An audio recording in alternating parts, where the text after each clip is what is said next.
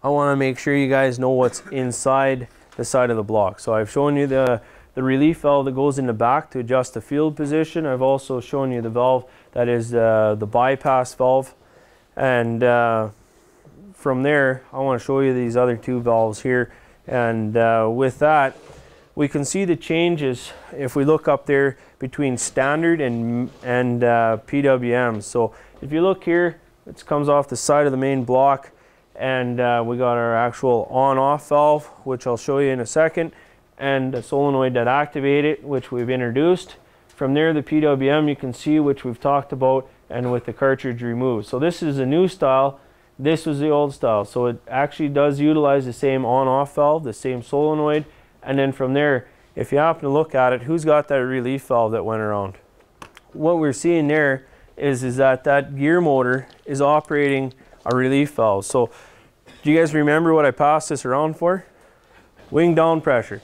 Oddly enough, in the old style blocks, wing down pressure was the same relief valve as shank down pressure. So that setup there, if you pass it around, is what the manual switch box used to actually increase and decrease the actual opener down pressure. So again, utilizing this control box, when you toggled increase and toggle it because it turns that DC motor, it turns the valve in, you toggle it, it turns that motor out, turning that relief valve out, decreasing it. So that's this manual style. So that is only, you're only gonna have that DC motor with this style control box. So everything moving forward is operating with a PWM valve.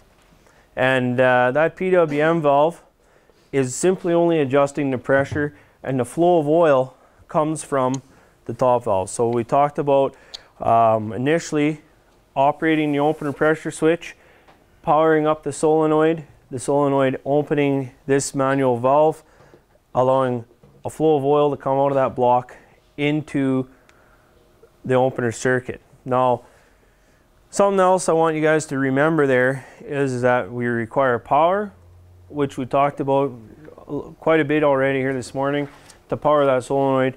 That solenoid, when it opens, then passes oil through one more orifice. So I talked about the dump line return having as much as uh, a, guarantee of five gallons a minute. So I mentioned uh, we had an orifice here for continuous wing down flow at two and a half.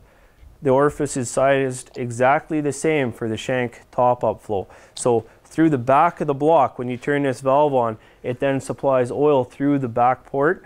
Uh, and through that, it's flowing oil at a limited flow again through an orifice of two and a half gallons out to that opener circuit. So it's just a flow of continuous oil. And then it uses the PWM valve, the same as that relief, to actually increase or decrease that pressure.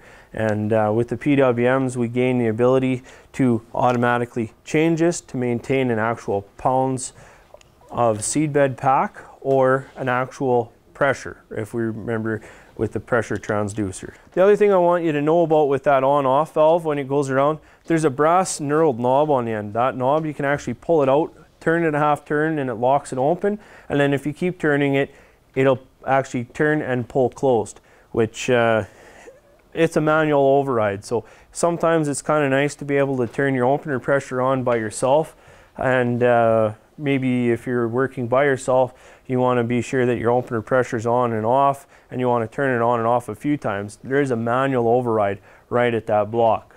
When it's flowing oil, it's then using the PWM which uh, is going around there. So it ha has power to that solenoid that's activated on it to um, adjust that PWM for where it's going to be open and closed. And remember, it started from zero, which is full open, to 253, which was full closed, which is uh, when it's closed, it's, uh, it has uh, the highest pressure it can achieve. Now, the other thing that it has on it is an actual uh, manual override. So you actually have the ability on it, the same as the relief valve that went around, to loosen the jam nut and actually physically turn it in or out to actually manually adjust it. So uh, again, another way to actually physically manually check it without fully removing that valve. So that uh, also gives us a point where I can actually show you that we looked at how to relieve, adjust the relieves on these.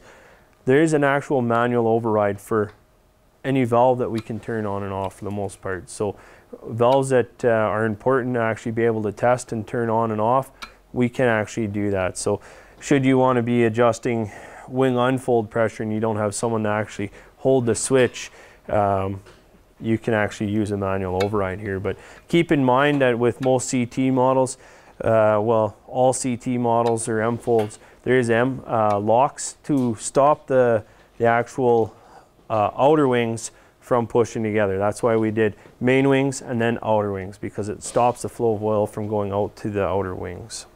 So the brass knobs are all manual overrides.